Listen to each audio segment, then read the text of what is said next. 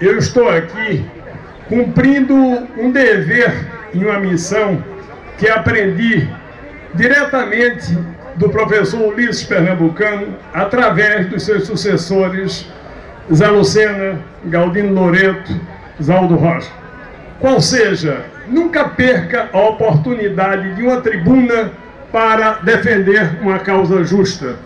E é isso exatamente que eu estou aqui, aproveitando esta tribuna e este público para ler um artigo a ser publicado por esses dias no Jornal do Comércio. O título é Crime prestes a ser consumado. Há cerca de três anos, vimos denunciando pelos periódicos locais a cobiça e os propósitos mercantilistas da piedosa Santa Casa de Misericórdia e da Mitra Diocesana em relação ao Hospital da Tamarineira e de seu precioso entorno. Logo após o carnaval deste ano, Dom José Saborido da Ordem de São Bento, sucessor do malfadado Dom José Cardoso, e eu digo isso e repito em alto tom, porque a herança, o inventário do professor Rujão Marques ainda está na justiça a ser resolvido, porque ele doou a, a paróquia dos remédios e foi usurpado pela Mitra e pela Santa Casa, onde hoje está erguido um prédio para a renda, evidentemente, da piedosa e malfadada Santa Casa. Portanto, o Dom José Saborido tornou-se arauto de atos anteriores à sua posse e anunciou pela imprensa a, um, a venda a negociata de, eh, da venda do referido imóvel a um grupo comercial do Rio de Janeiro. Este grupo comercial, é bom que se diga, é o mesmo que está ligado ao mal sucedido Passo Alfândega. Ou seja, por trás dele estão figuras de notoriedade da política nacional. Todos de origem pernambucana, é verdade.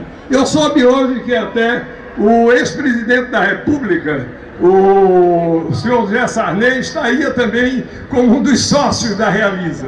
Mas pouco importa. Essa é a que é um dado de realidade. É o mesmo grupo do Passa Alfândega, que está mal cedido, por sinal. A cobiça inicial consumava-se em desastrosa transação efetuada a socapa. Foi feita às escondidas, contendo sanções contra os vendilhões do patrimônio sanitário e ambiental do povo e da cidade do Recife. A ilicitude do ato é do conhecimento público, o que já foi demonstrado historicamente. Há registro de propriedade desde 1551. Ato de venda à congregação do Oratório do Recife em 1710. E a escritura de afloramento à congregação de São Felipe Neri é datada de julho de 1826.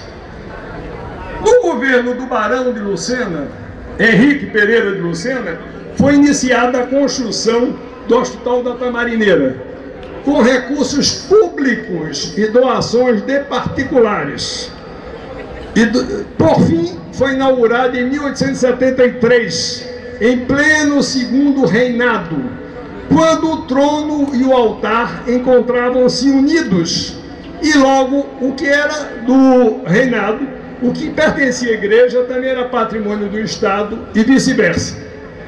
A seguir, essa congregação dos oratarianos da Madre de Deus afastou-se do Recife e, como era de costume à época, foi entregue à Santa Casa de Misericórdia a administração da Tamarineira, o que se verificou até 1924 quando o, foi reintegrada ao governo do Estado. São 86 anos na gestão do doutor Sérgio Loreto, avô de Galdino, sendo secretário de saúde o doutor Amauri Medeiros e o diretor da Tamarineiro, o professor Ulisses Pernambucano, cuja escola eu represento a terceira geração. Eu sou sucessor da terceira geração dessa escola de psiquiatria do Recife. A luta pela preservação do espaço de saúde representado por estes serviços psiquiátricos, como já foi dito, históricos, ainda em funcionamento, também pela manutenção, sobretudo, da reserva ambiental devidamente tombada pelos órgãos competentes, tem sido assumida pelos intelectuais do Recife, pelos psiquiatras, pelos trabalhadores de saúde mental e, sobretudo, pelos integrantes voluntários dos Amigos da Tamarineira. Trata-se, na realidade, do último pomar remanescente dos antigos quintais desta pobre cidade tão devastada pela insaciável febre imobiliária. Fato semelhante ocorreu há 20 anos atrás em Lisboa, em relação ao Hospital Júlio de Matos, localizado no bairro de Portela, onde fica o aeroporto, Portela de Sacavém. A reação dos órgãos médicos portugueses, da Ordem dos Médicos no caso, impediu a consumação deste atentado. Portanto, o Júlio de Matos permanece no lugar devidamente modernizado. Quem conhece os serviços psiquiátricos londrinos, parisienses e alemães, tem ciência de todos aqueles serviços centenários preservam sua aparência externa enquanto são interiormente modernizados. Refiro-me ao Maudsley Hospital, à Salpêtrière, à Sainte-Anne, ao Hospital de Heidelberg, à Clínica de Heidelberg e muitos outros serviços. Há igualmente um estranho silêncio e omissão das autoridades constituídas do Estado e do município em relação a estes fatos.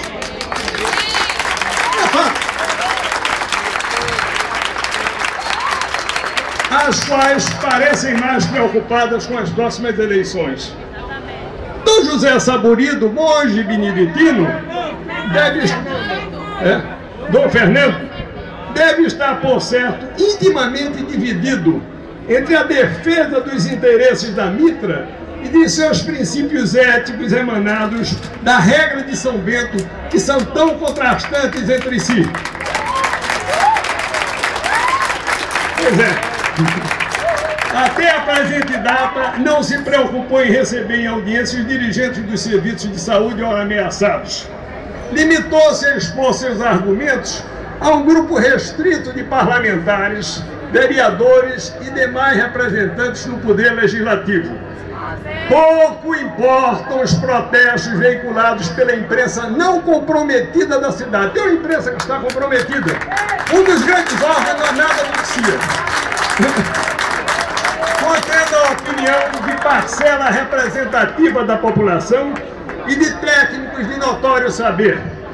As especulações financeiras, por certo, têm falado mais alto. Resta-nos, portanto, o quê? O pronunciamento de um terceiro poder, o judiciário, representado pelo Ministério Público, a quem caberá julgar a ilicitude do ato, a ilicitude desta transação criminosa, assim como das autoridades defensoras do meio ambiente a quem cabe zelar pelo patrimônio comum do povo desta cidade de defesa. Muito obrigado e viva Tamarineira! Viva o entorno!